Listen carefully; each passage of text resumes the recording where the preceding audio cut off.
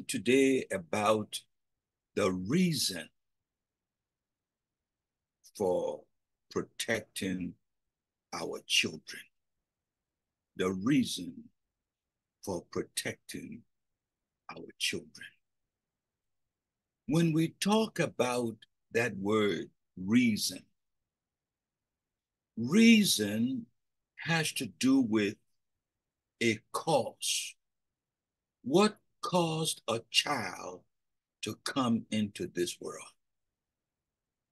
When we talk about reason, we are talking about an explanation why a child has come into this world.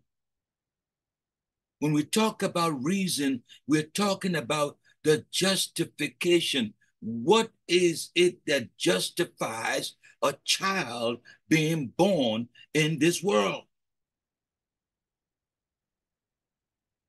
What is the action? What what what caused a child to be born? What are the reasons? Every child that is born is born for a specific reason.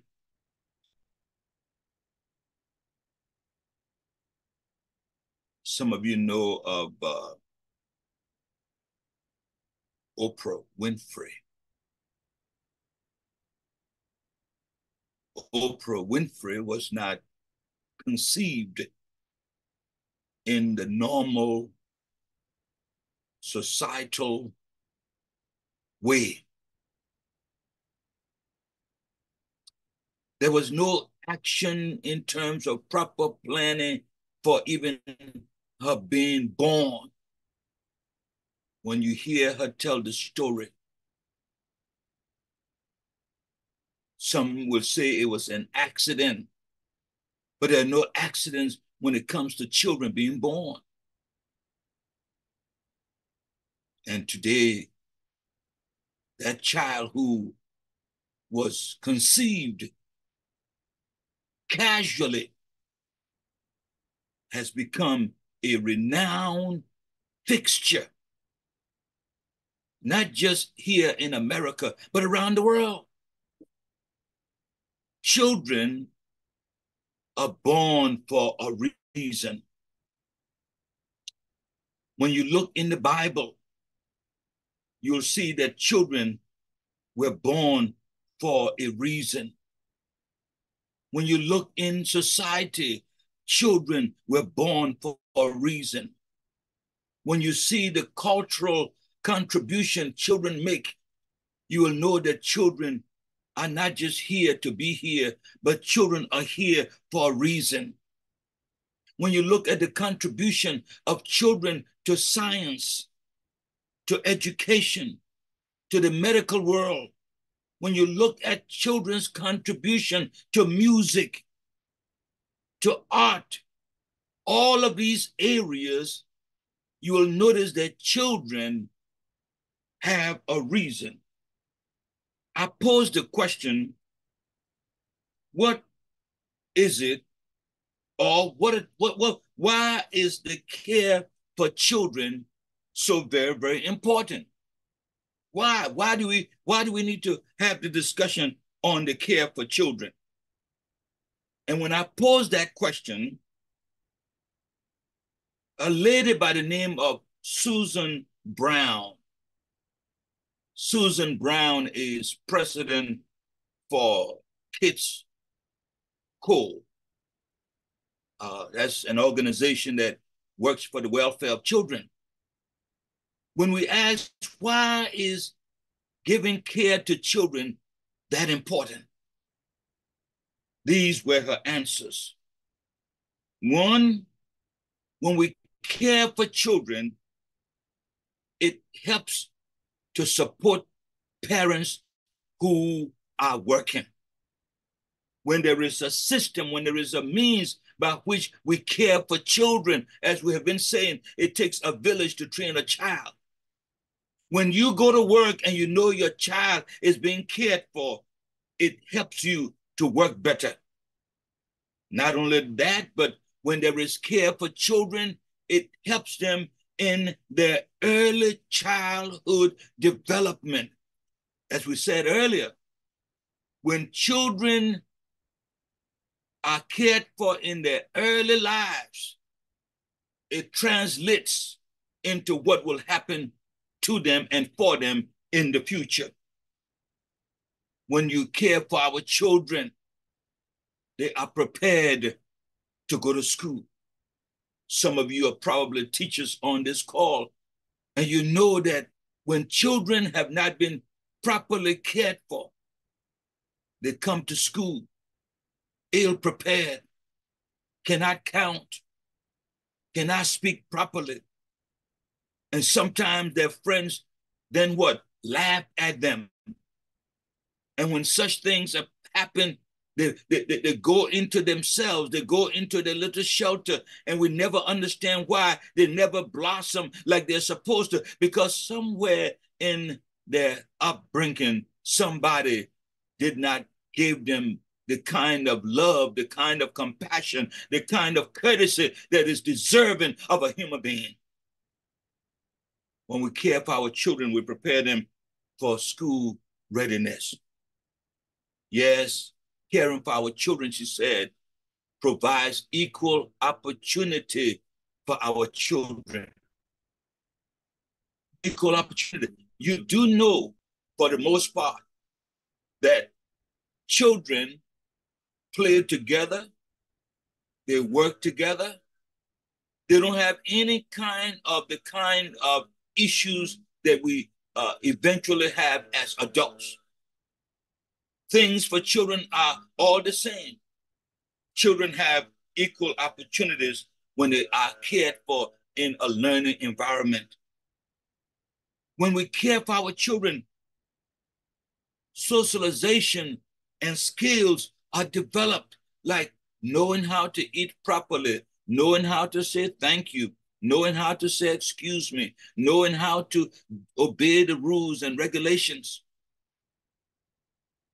Some of you know it, that in most instances, in most instances, the prison system and the quantity of beds are usually determined by what happens in the third and the fourth grade.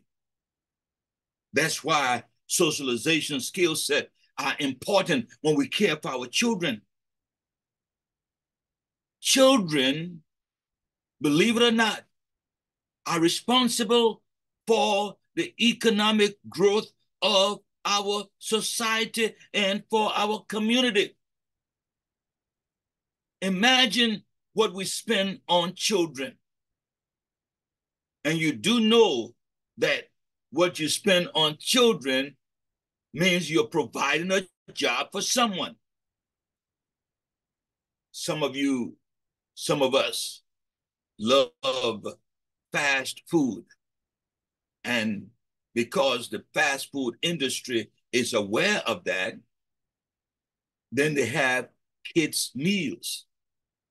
And sometimes when things are good, they have little gifts that they put in the bags for the kids, for the children.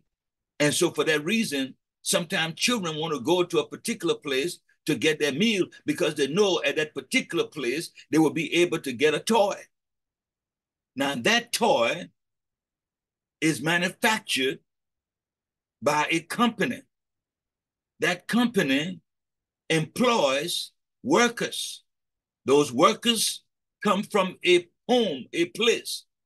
With their salaries, they're able to care for their families. They're able to give and provide for their community, all from the children. So when we care for our children, there's an economic impact. When we care for our children, it also provides well-being for parents. Parents are satisfied when their children are cared for, whether in their presence, in a daycare, in the school, when they go for field trips, We want to know our children are cared for. Yes, children cause us to build communities. Today, uh, we have Mothers Against Drunk Driving, a very powerful organization. There's so many other organizations that have been formed because of the need to care for our children.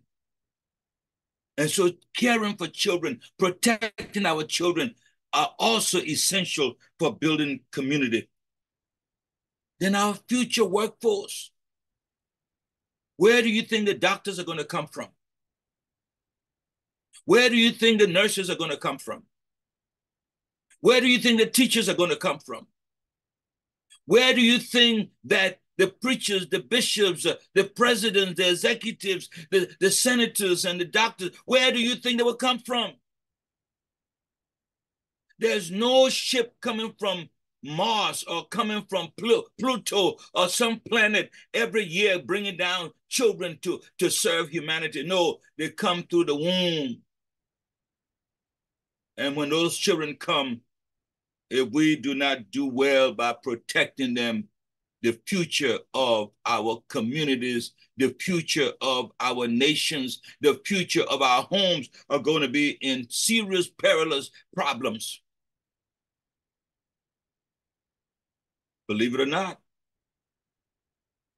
there is a shortage of teachers right here in America. There is a shortage of doctors right here in America. There's a shortage of nurses right here in America. There's a shortage in all sectors. Why? Because somewhere we were not conscientious about protecting the workforce for the future.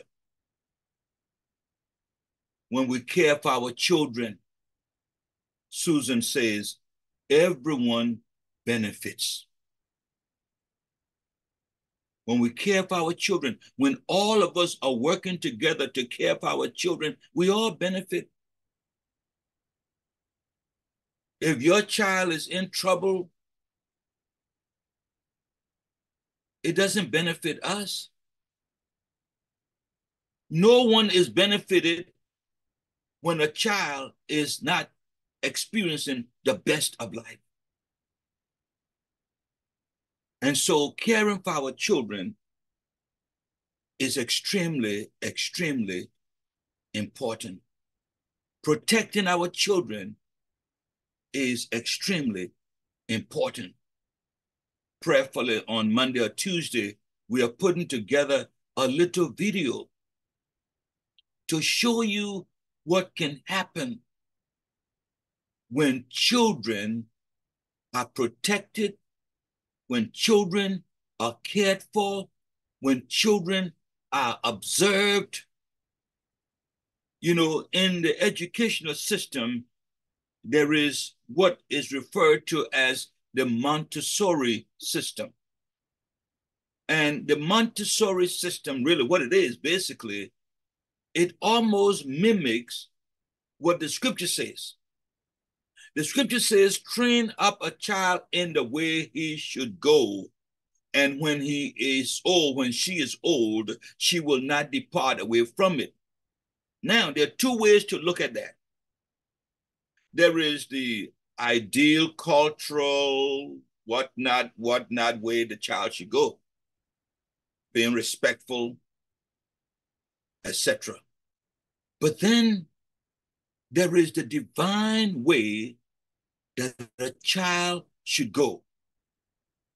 And uh, I want for Sister Lartey to just share with us briefly about the child who, uh, at a very early age, had graduated with many, many degrees. Miss Lartey, can you do that for us, please?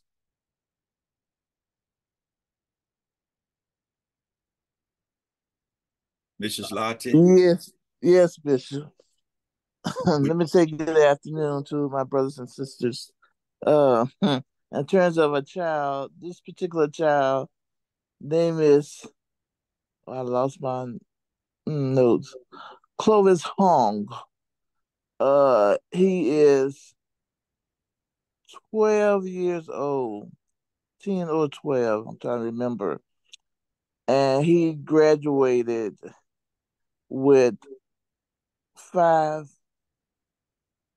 college degrees and applied science and math and computer computer science and two others that he was blessed to graduate with five degrees.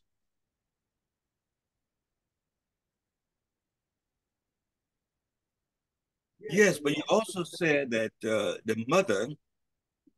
Yes. The mother observing him noticed his precociousness for learning. Yes.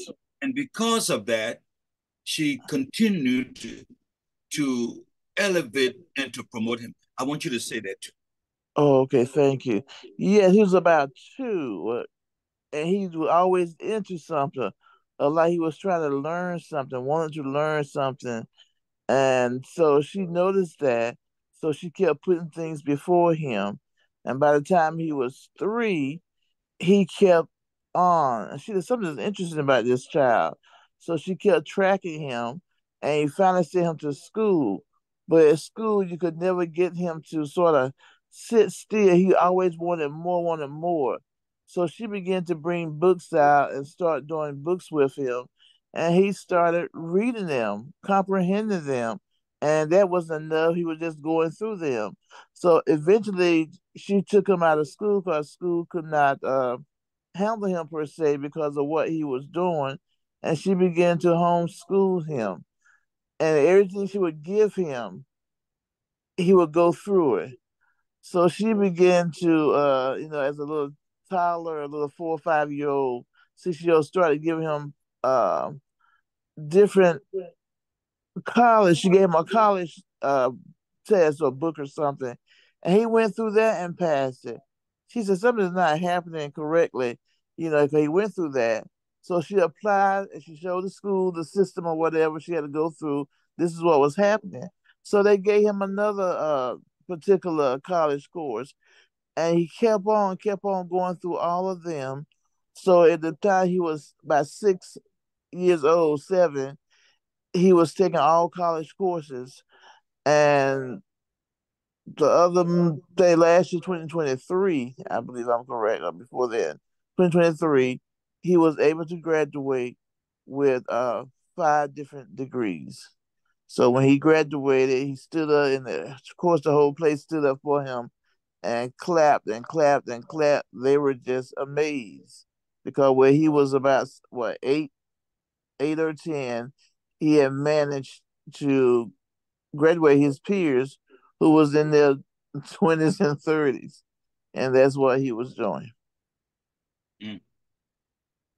Wow. So we see that when you take the time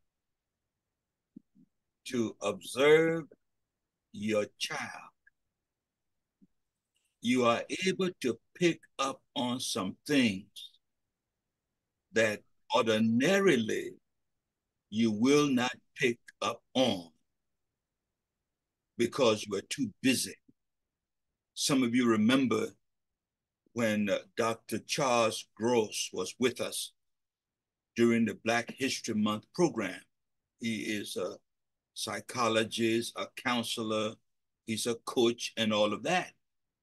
He talked about the importance of us spending time with our children. Because it is only when we are intentional not casual, not happenstance. It, you know, it happened, but when we are intentional on a regular basis to listen, to observe, and to see what our children are doing. Believe it or not, all of us are blessed to have God's best. But what happens when we do not take the time to, in fact, invest in them? An investment here has to do with time, attention, fellowship, conversation. When we do not take the time, we miss out on certain valuable expressions of their personality or their identity. Yes. And so protecting our children is extremely, extremely important. Why? Because children come into this world with a purpose. You know, we said earlier, looking at Psalm 127, that children are a heritage of God. And we said that heritage is that which is owned by one person and you pass it on to another person. Children come into this world with a vision. They come into this world with a goal in them.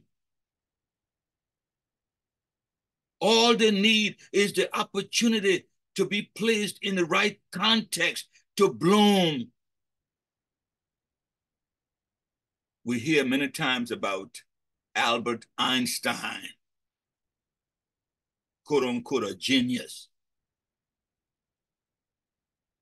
But if you were in his early upbringing, you would never have associated him at the end of his life with such creativity, intelligence, and wisdom. No.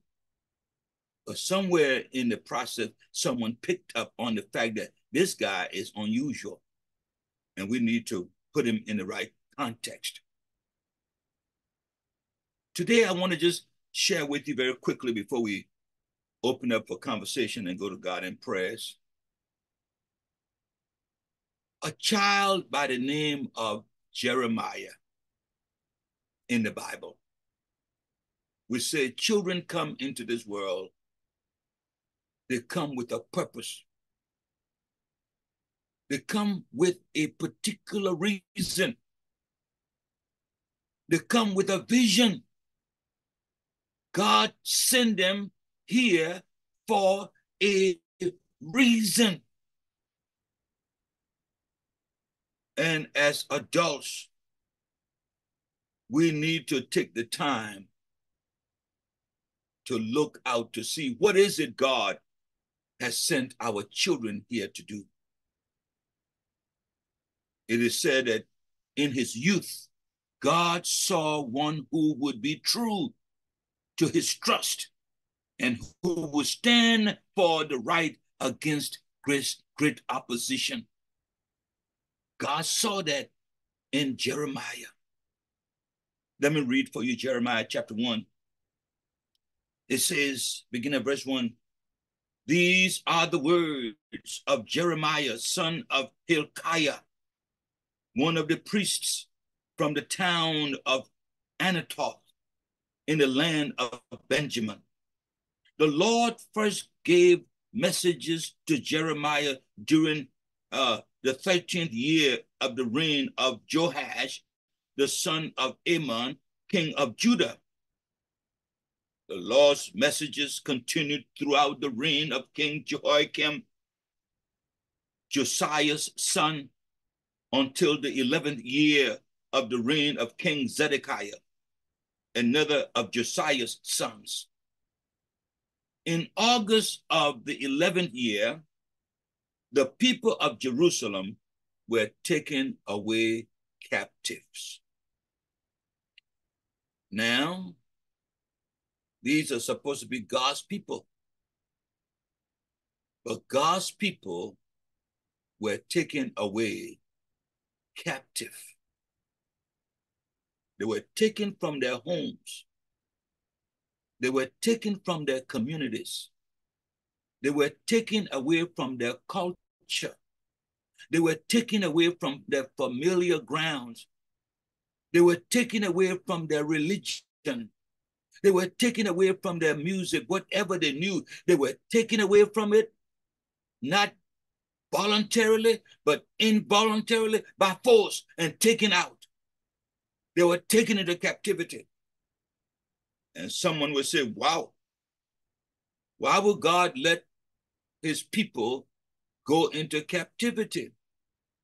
Well, that is what happens when we turn our backs on God. That is what happens when we disobey God's commandments.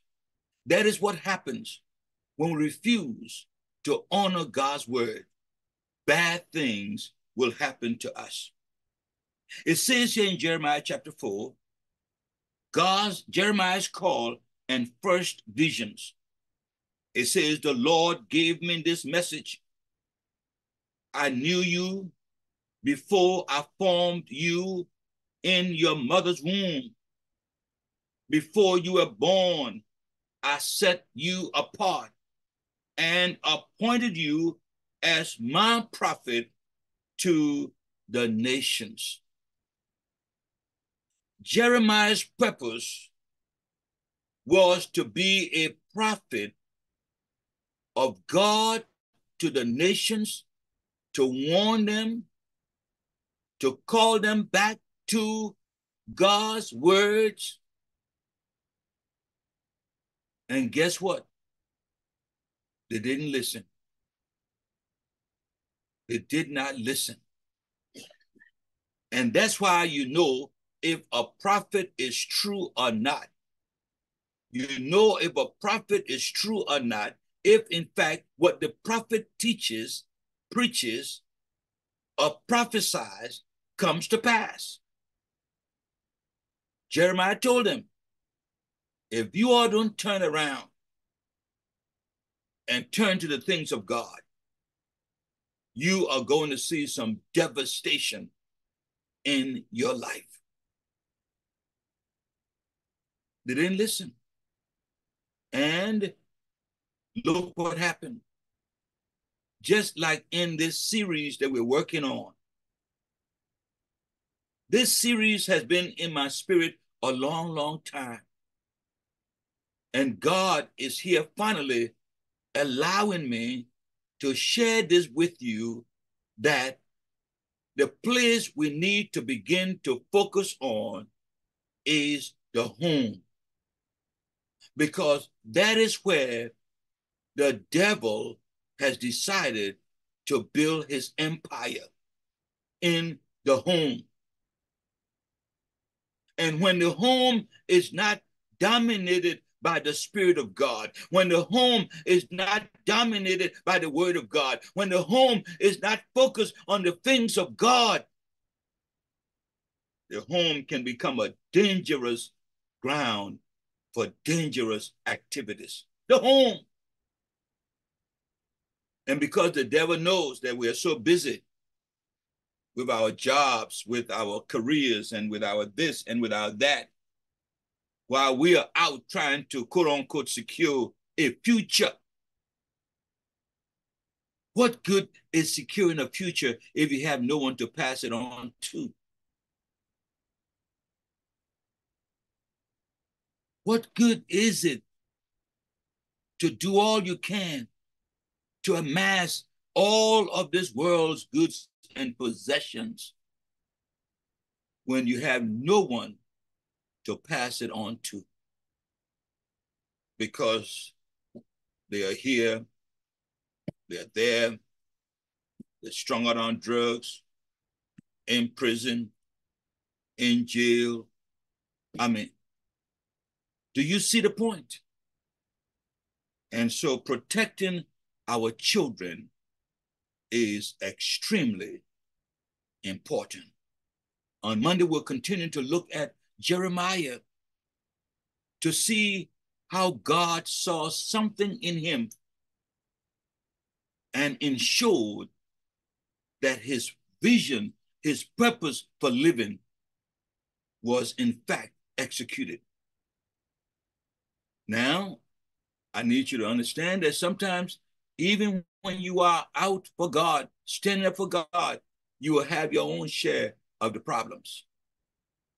Because Jeremiah did not stay home. He too was carried away into captivity. But if the people had listened to him, it would have been a different world. And so I say to you, our children, our heritage of God, the lit Nelson Mandela said that children are very precious, but yet most vulnerable. The late Kofi Annan, who was Secretary General of the United Nations, said children need a place to grow up in peace. And I would say to you, if we want a beautiful future, it must be because of what we have done and are doing with our children. Yes, children must be protected. And as we have noted, it cannot be done by just one person. It takes a village to raise a child. In Jesus' name, amen. Amen.